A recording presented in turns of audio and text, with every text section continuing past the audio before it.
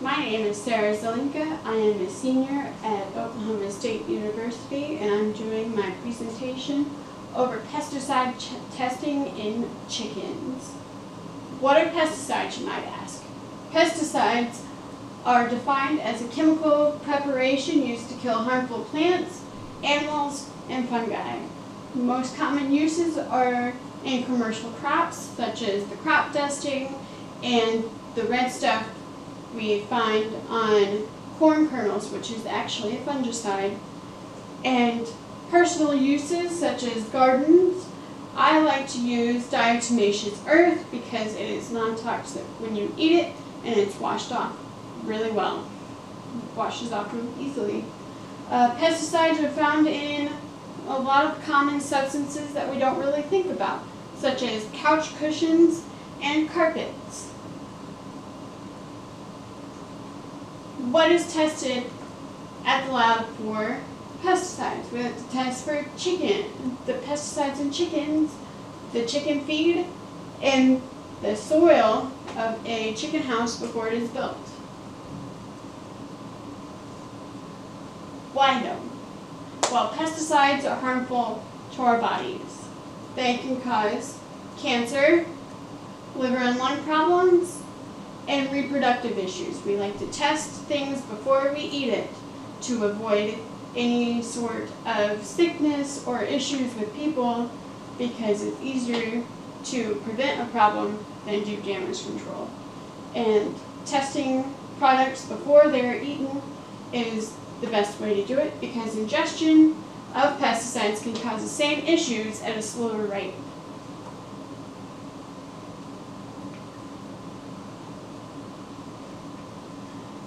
This is a list of 16 pesticides that we test for most commonly at Tyson. These are pictures of some of the things that we test for. This is a chicken fat pad that we test for. Not pictured here is soil that we test for at the chicken houses. We have corn and feed ingredients. This is a picture of feed ingredients called DDG that is commonly tested. How do we test them? Well, the samples are all sent to the lab. We don't go out and get them. And then the fat pads that were just shown in the last pit, last slide are microwaved to a liquid form but not so hot that they destroy the chemicals that we're testing for. And the feed ingredients are put in a solution of petroleum ether to extract the fat. But why is fat important? Well, in all of the pesticides that were just listed are fat soluble compounds. So to find the highest concentration of the pesticides, we have to look in the fats. Further pesticide procedure. Once the fats are extracted, they are put into 10 milliliter tube flasks, which are shown right here. And here you see an analyst taking one mil from each sample and putting it into a filtering syringe and then that syringe is then flushed with petroleum ether and ethyl ether to ensure its purity. After it's been flushed, each sample is moved to this machine where it is flushed with compressed nitrogen and evaporates the samples completely. After they're evaporated completely, they are reconstructed with two mils of hexane to reconstitute them to where they're very small and concentrated samples of what we need to test. And after they're reconstituted, they are then transferred into auto sampler cartridges, shown in the next slide. Over here, the furthest side, we see an auto sampler cartridge. It kind of looks like a um,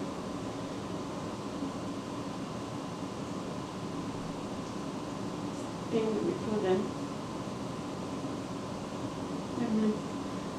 And then it is placed into a tray with several other samples, and each one is individually labeled and numbered so that we know which farm and which samples are positive and which ones are negative.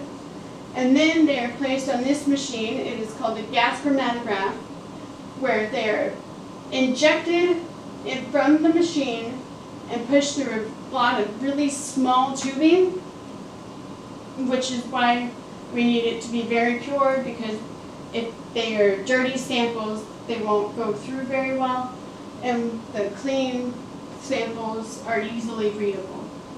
And the results are shown on the next slide. Over here, we have all of our working standards. All the peaks that are shown are the pesticides that we know that we are looking for. And down here is a negative result where there are no peaks and it is perfectly clean and beautiful and that's what we want to see. And right here is a false positive where you can see that there are peaks along the test, but the working standards that I've highlighted in red don't match up with any of the peaks that are shown to be positive on this picture. Thank you, and hope you enjoyed my presentation. We did.